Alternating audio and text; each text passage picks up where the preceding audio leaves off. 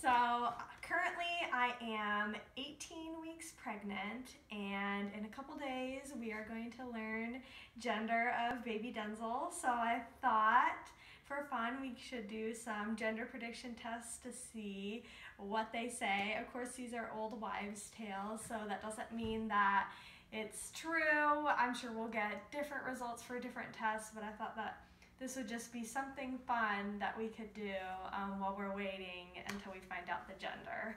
Right now we still don't know the gender. I still think it's a boy and Anthony still thinks it's a girl. So just by looking at some of the um, gender prediction tests um, that I looked online, I tried to find the most popular ones. So the first one that I'm to do is the Chinese calendar. Um, the way you can do this is you can go on any website, um, just type in gender predictor, um, Chinese calendar on Google and you can look it up. If you put in your age at the time that, that you conceived the baby and also what month you conceived um, and then you push submit, it'll find out if it's a boy or a girl. So I am 24 years old and we conceived this baby in July. So when I put that into the gender predictor, it said boy.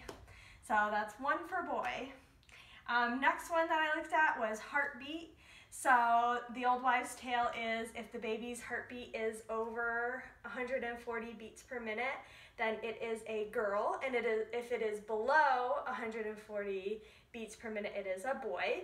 So we've heard baby's heartbeat twice now at the doctor's office. The first time it was 165, and the second time it was 150. So currently it is a girl. So that is one for boy and one for girl. Another one I looked up was dad weight gain. So if the dad of the baby has gained any weight, um, then it means a certain gender. So if dad has gained weight, then it means it's a boy. If dad has not gained any weight, then that means it's a girl. So Anthony, have you gained any weight? I'm actually down like two, three pounds.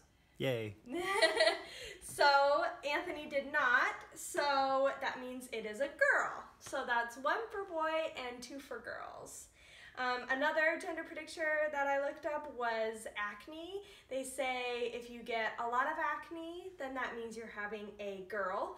And if you don't have a lot of acne while you're pregnant, then that means you're having a boy. So I have been getting a lot of acne. You've been seeing in my updates, um, especially along my jaw area. So that is a yes, so that is girl. So that is what? Three girl, one boy. Another one that I kind of thought of was the even odd test. So if your birth year and the age that you conceived at are both even or both odd numbers, then you're having a girl. If one of the numbers is odd and one of the numbers is even, then you're having a boy. So I was born in 1993, an odd number, and I am 24 years old, an even number. So according to this test, I'm having a boy. So two for boy and three for girl. The next couple ones that I'm gonna do are all ones that I have to um, show you guys to do. So the first one of those kind of tests that I'm gonna do is called the ring test. And I'm sure a lot of you have heard of this one. So what you do is you take a strand of your hair and you loop it through your ring. I think it can be any ring you have. Um, and then you hold it over your belly. And if the ring swings in a circular motion, then that means it's a girl. And if the ring swings back and forth, then that means you're having a boy. So let's do this test and see which what it finds out. Okay, so here here it goes. I have my ring. I'm using my engagement ring, and then I have tied it around one of my hairs. So let's see, and I'm gonna have Anthony help me which way that the ring goes.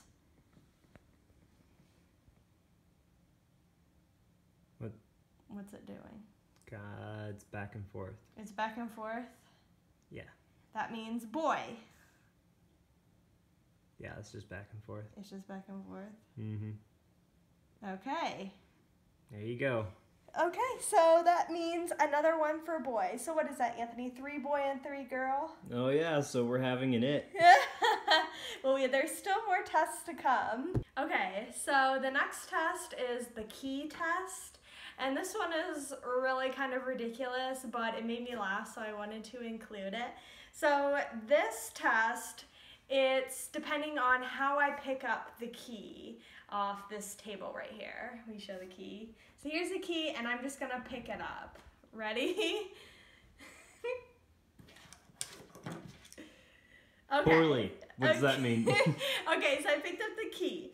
So if you pick it out, pick it up by the round part, then it is a boy. If I would have picked it up by the narrow part, then that means girl. So I picked it up by the round part, so that is another point for boy. So it is now four points boy, three points girl. that seems kind of biased. Like, hmm, which one do I want?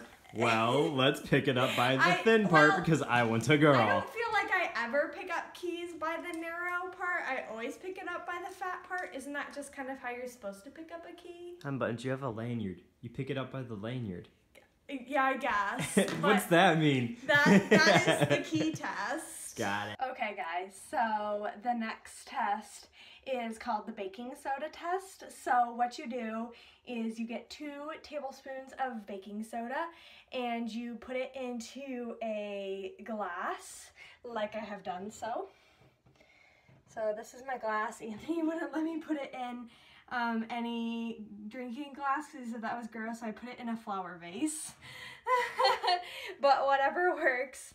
Um, and then what you do is you pee in a cup and then you add some of your urine to the baking soda. And if it fizzes, like pop, then it is a boy. And if nothing happens and it's flat, then that means it's a girl. So let's see what happens. Okay, so again, here's my cup. Here is my baking soda. I have peed in a cup. Let us see what happens.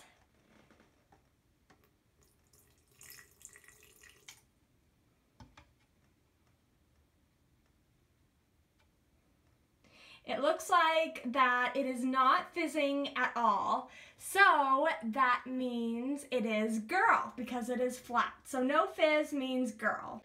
So I believe that is four for boy now and four for girl. On to the next test. Okay guys, so the next test is the Drano test, which I had never ever heard of this before, not on any videos I've seen on YouTube or anything, but I came across it on a website and so I wanted to try it. So with this test, what you do is you get a bottle of Drano, like so. And what you do is you take some of that Drano and you pour it in a clear glass. So I'm using um, the same glass as before. I rinsed it out um, and I've already put some Drano in here. So what the gender prediction says is if the Drano turns dark, then you are having a boy. If there is no change in the Drano, then you are having a girl. So this is kind of going to be odd because the Drano is already clear. So I don't know. We'll just see what happens. Here we go. So again, here is my cup. Here is my Drano, and let's see what happens.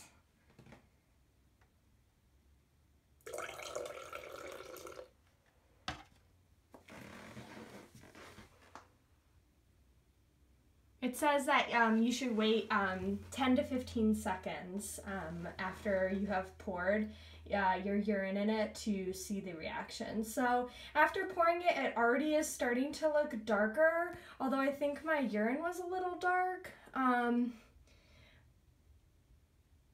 but it does look darker to me, and so I'm gonna say that this it means boy. So, like I said before, it did get a little bit darker. It still looks a little dark. I'm not really sure about this test though, because my urine was already a little dark, but we'll just say boy. So that is another one for boy. So I do believe it is five boy and four girl now. So um, I have one test left, and that is the red cabbage test. And so what you do is you buy a red cabbage from the store, you chop it up, and then you boil it and let it soak in boiled water for 10 minutes. And then after that's done, um, you add some of your urine to it. If the water is turning pink or red, you are having a boy. If it turns purple, then you are having a girl. So let's see what this test says. Okay guys, again, like I said, this is the last test, so it comes all down to this, although kind of not really. So right now we are at four for girl and five for boy. So if this one says girl, then these gender tests don't help at all, which is like silly because obviously they don't help their old wives' tales. There are only 50, there's only 50% chance that they're right, but I just thought I would do something fun and share with you guys. So here's the last test. Like I said, it is the red cabbage test. So I boiled the red cabbage, let it sit for 10 minutes, and this is what it looks like right now. So here is what it looks like. It already looks like it's basically a purple right now. If it just stays the same, then I guess it's a girl. If it turns pink or red, then boy. So here is my glass, and then, okay, here we go. I will pour and see what happens. Here we go.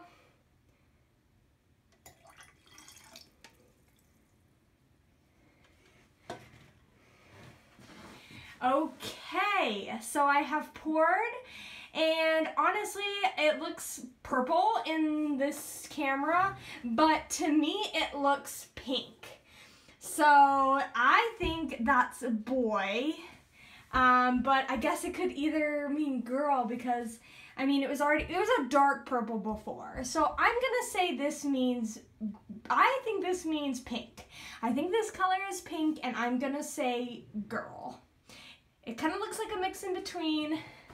See if I can like hold it up to the light. I don't know.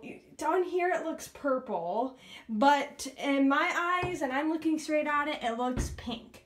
So I'm gonna say this says boy. So with the red cabbage test, that makes it six for boy and four for girl. It's still a very tight race.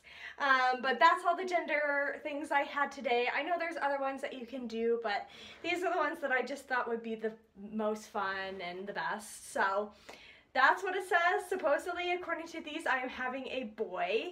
Uh, like I said, in a couple days, um, we're gonna go and find out the gender, although I won't be finding out the gender. It will be Anthony finding out the gender, and he'll know for about two weeks until I know um, until we have our gender reveal party and then I will know. So this was still really fun to do. I'm excited that I could do it. Um, it's just one of those fun things of being pregnant that you gotta do. Anthony, you see he is gone. He did not want to participate in the urine part of my tests. There you have it. That's what's going on. So um, yeah, thank you guys for watching. I hope you enjoyed this. Let me know if you guys did any gender predictions and what they told you. Um, I just think, again, that this is just a fun game to play. So, thanks, guys. Bye. So, update on the red cabbage test. I asked Anthony, and he says this looks purple. So, I guess I'll just leave it up to you guys. Do you think it's pink or purple? Let me know. If so, if it means if it's purple, then that means we're tied at five boy, five girl. If it's pink, then that means we have six boy and four girl. So let me know what you guys think.